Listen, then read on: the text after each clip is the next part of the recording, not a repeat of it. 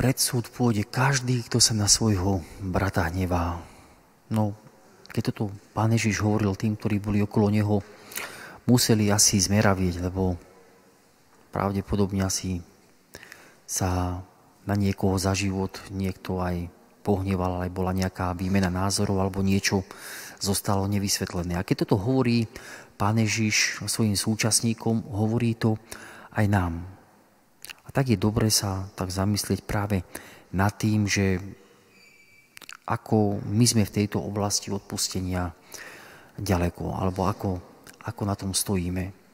Prišli sme tu do kostola, aj v Evaníliu bolo povedané, že keď prinášaš dar pred oltár Bohu, tak nechaj svoj dar pred oltárom a najskôr sa choď pokonať, teda udobriť, vyriešiť to so svojím bratom a sestrou, ak niečo nie je v poriadku.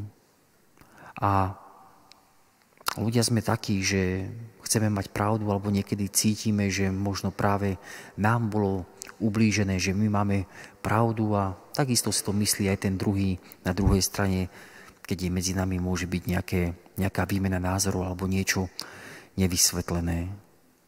A tak potom sa stáva to, že práve ten hnev sa prenáša nejaké obdobia, možno nejaké týždne, mesiace, roky a tak ďalej a tak žijeme v neodpustení. Keby to tak bolo, že žijeme v neodpustení a prichádzali by sme aj do kostola, tak pravdepodobne tá Božia, Božia milosť, ktorá plinie aj z tej svetej omše, nemusí mať až taký účinok, ako by mala, keby sme boli s čistým srdcom. Preto vždycky, keď prichádzame práve do chrámu Božieho, tak máme prichádzať, že keď máme ľahký hriech, tak ho lutujeme a keď sme v stave ťažkého hriechu, tak máme pristúpiť k sviatosti zmierenia.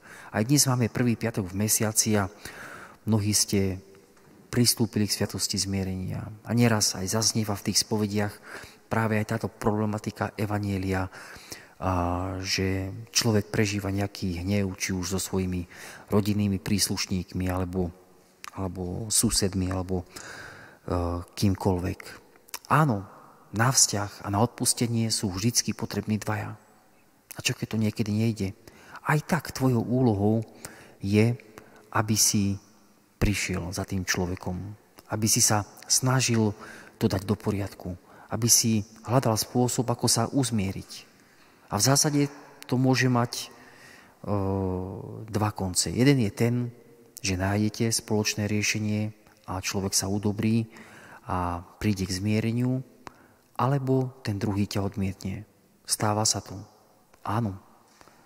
Ale potom, keď ty urobíš ten krok, že nájdeš tú silu s Božou pomocou a prídeš a snažíš sa poriešiť tú vec, tak ty môžeš mať spokojné svedomie, lebo robíš ten krok uzmierenia.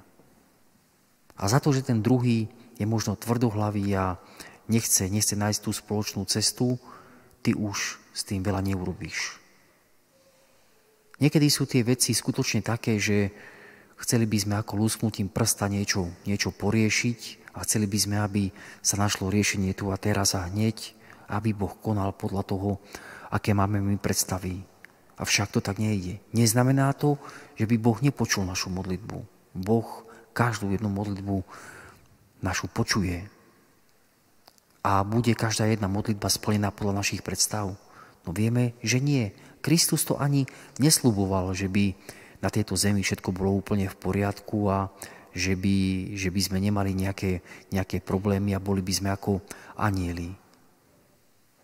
Avšak nech naozaj nás prevádza tá Božia milosť a nech sme si vedomí práve toho, že bez Božieho požehnania sú skutočne márne naše namáhania. Koľko razí sa v živote snažíme o mnohé veci, snažíme sa vydáme aj energie, mnohé veci sa snažíme tak ľudsky poriešiť a aj tak nie sme spokojní vo svojom vnútri.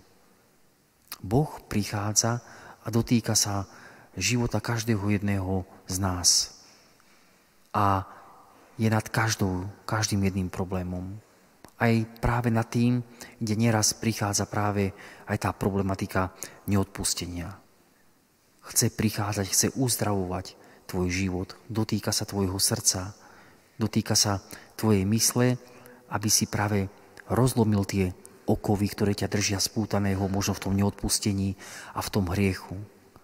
Chce, aby si bol milovaným Božím dieťaťom. Chce, aby si si to uvedomil, lebo ty tým milovaným Božím dieťaťom si a chce, aby si príjmal to, čo v tebe hovorí, lebo neustále, denodenne sa k tebe prihovára. Otázne je, ako my to spracovávame. Či to chceme počuť. A keď to počujeme, či podľa toho vo svojom živote aj konáme. Lebo nieraz Boh žiada aj náročnejšie veci, ako sme my zvyknutí nejak v tom svojom živote nejak tak príjmať.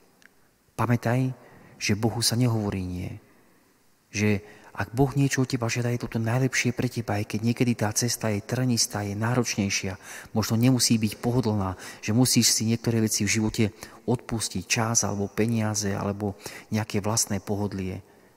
Ale to ovocie za to stojí. To ovocie, ktoré budeš potom prežívať vo svojom vnútri už tu na zemi a potom to ovocie, ktoré budeš žať aj v tom nebeskom kráľovstve, je pre teba ako kresťana to najlepšie tak nech nám v tom Pán Boh pomáha. Amen.